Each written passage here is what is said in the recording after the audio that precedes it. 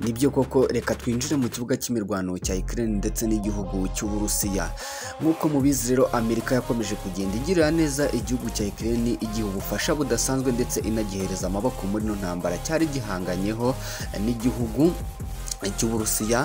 Twinjiye ku munsi rero w'imirwano ku kibuga cya Ukraine ndetse n'igihugu cy'Uburusiya wa mirongo inani na gatatu. Ni ku minsi cumi n'icyenda y'ukwezi kwa gatatu ndetse nkwibutse ko iyi ntambara yo yaje kuba yatangira ku itariki makumyabiri n'enye gashyantare uyu mwaka w'ibihumbi bibiri na makumyabiri na kabiri gusa uyu munsi tariki cumi n'icyenda z'ukwezi kwa gatanu bibiri na makumyabiri na kabiri intambara ikaba ikomeje kandi irimbanije ubwo ngubwo amezi atatu yo harabura iminsi itanu yonyine ngo birangire.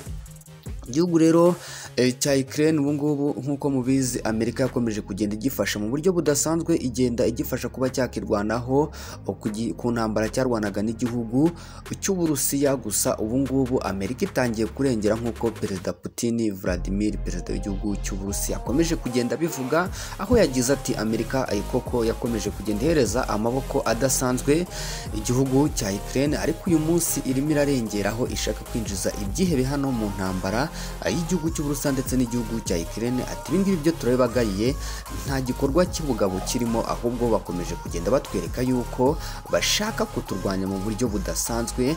Ati kwinjiza ibyihebe hano mu ntambara ntabwo ari cyo gisubizo cyiza nta nubwo ari na cyo gisubizo. Twumva cyaba ari kizima gusa Amerika ikomeje kugenda yinjiza ngo ibyihebe mu ntambara y'igihugu cy'Uburusiya nk'uko ikaze kandi ndagushuje aho uri mu bice bigiye bitandukanye mwifurije kugubwa neza. Wowe wakarinze subscribe nawe turayikana nkushishikariza kuyikanda kujya wiyongere mu muryango mugari wa online updates. Aho muri hose mbifurije ko Imana ikomeza kugenda ibandindira mu buryo bugiye butandukanye. Ikaze rero mu makuru nze nyarambure nkubwire n'amagambo akomeye cyane yaje kuvugwa na perezida w'igihugu cy'Uburusiya Vladimir Putin aho yiyamye Amerika uko itangiye kwinjiza ibyihebe muri no ntambara y'igihugu cy'Uburusiya ndetse n'igihugu cya Ukraine. Rero ibingibi bikaba byakomeje kugenda bibabaza abarusiya mu buryo bugiye butandukanye nk'uko byaje kugenda bivugwa na perezida w'iki gihugu cy'abarusiya ndetse akaba ari inkuru yaje kuba imubabaza bidasanzwe ndetse bikaba byamubabaje bikomeye cyane aho yagize ati se amerika ko kuko twayemereye igakora ibyo ishaka? Ibingibi biraterwa n'iki kugira ngo ibe yabasha kwinjiza ibyihebe muri ino ntambara? N'urwego rw'ubutasi rero rw'uburusiya cvl rwatangaje ko leta zunze ubumwe za amerika usa guhuriza hamwe ibyihebe zirimo guhuriza hamwe ibyihebe by'umutwe w'iterabwoba wa islamic state ngo bijye kurwanira ukraine mu ntambara igiye igiye kumara amezi atatu yose. Uru rwego rero nk'uko ikinyamakuru RT cya leta y'uburusiya cyatangaje kuri uyu wa cumi na karindwi gicurasi bibiri na makumyabiri na kabiri rwahamije ko USA iri gukoresha uburyo bushoboka bwose kugira ngo igere ku migambi ifite kuri Ukraine. Nta yindi migambi rero ni ukuba Ukraine yatsinda igihugu cy'uburusiya. Rwagize ruti rero USA iri guhuriza hamwe n'abarwanyi b'imitwe y'iterabwoba mpuzamahanga iri muri Islamic State yaciwe mu Burusiya nk'abacancuro bajya muri Ukraine. CVL rero isobanura ko ifite amakuru y'uko ibirindiro by'ingabo za USA muri Syria byitwa Al-Tranf hafi y'umupaka wa Jordan yuko byahindutse indiri y'ibyihebe aho abarwanyi bagera kuri magana atanu ba isisi n'abandi bagendera ku matwara akomeye ngo batorezwa hariya ku birindiro by'izi ngabo z'abanyamerika. Uru rwego rero ruvuga ko mu kwezi gushize abarwanyi mirongo itandatu ba isisi bari bafungiwe muri gereza irindwa n'umutwe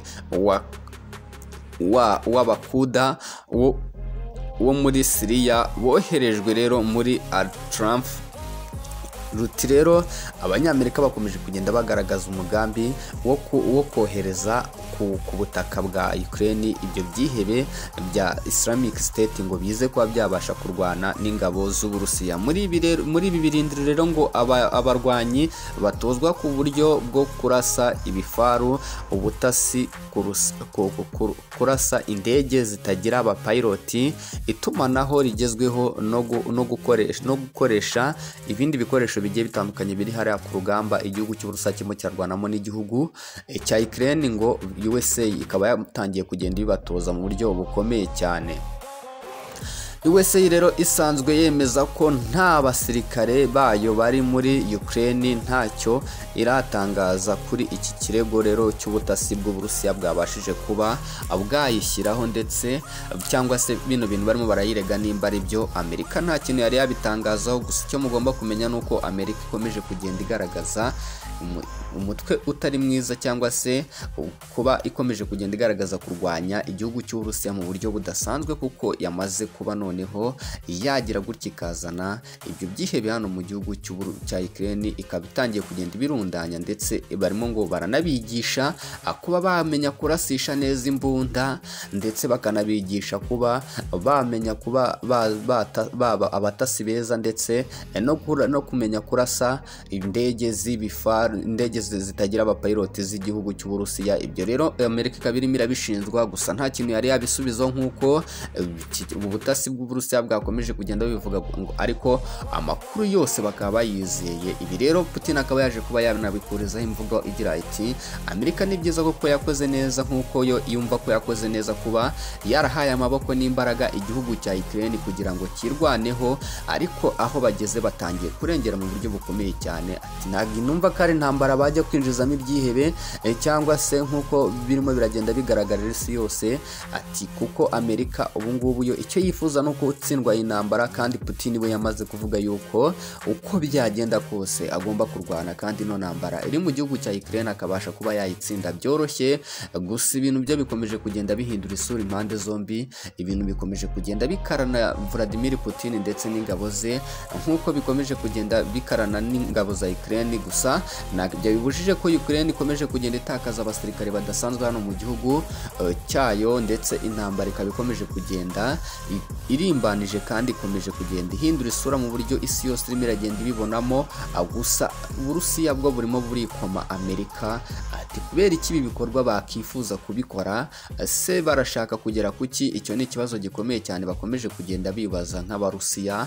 Gusa Amerika yo rwose nk'uko bigenda bigaragarira isi yose ikomeje kugenda igaragaza ibikorwa by'ubutwari hariya muri gihugu cya Ukraine. Ariko Putin yavuze ati nk'uko twabemereye mukajya murekura intwaro cyangwa se mukabohereza intwaro ibyo ntacyo byari bivuze ariko aho mugeze mutangiye kurengera bikomeye cyane. Ni amagambo akomeye cyane yavuzwe na Vladimir Putin perezida w'igihugu cy'Uburusiya.